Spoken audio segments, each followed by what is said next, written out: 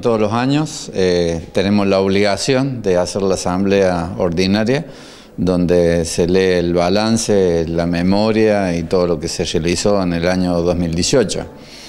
Eh, es una fecha que no habitual para nosotros porque comúnmente las asambleas se tienen que hacer en el mes de marzo, abril más tardar, pero bueno, eh, personalidad jurídica está cambiando todo, el sistema, eh, así que es todo vía eh, digital, online, así que hemos tenido que capacitarnos en eso y eso ha hecho la demora de todas estas instituciones que tienen que debidamente hacer las asambleas, el atraso por eso estamos en el mes de septiembre y la estamos haciendo recién ahora.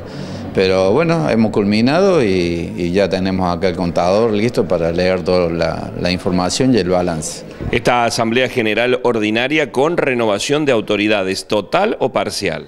No, eh, eso es algo que también vamos a cambiar más adelante porque por el, propio Consejo de, de, Personalidad Jurídica nos pide de que hagamos renovación de estatuto para que la lista sea completa. En este caso la hacemos eh, la mitad en, los suplentes, o sea, el vicepresidente, prosecretario, protesorero, dos vocales titulares y todos los, los vocales suplentes que se renuevan año a año. Así que bueno, estamos en esa, en esa tratativa también de renovar el estatuto para más adelante, el año que viene posiblemente. ¿A quiénes se ha convocado para participar de esta asamblea? Y está convocado, salió en el boletín oficial, como debe ser. Eh, la convocatoria es abierta para todos, a toda la localidad, hemos hecho publicidad en todos los medios. Y, bueno, eh, también están todo el cuerpo activo, gente de la comisión, vecinos, familiares. Comúnmente la gente no participa de estas cosas, pero eh, sí, uno sigue insistiendo porque la gente tiene que participar.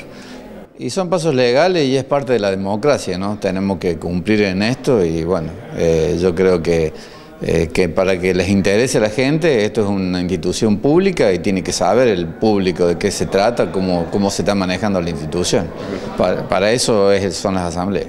Y en esta renovación de estos cargos parciales que se va a realizar esta noche, eh, ¿son la misma gente o hay gente nueva que se ha incorporado a la comisión? No, no, tenemos seis personas nuevas que se han incorporado, gracias a Dios.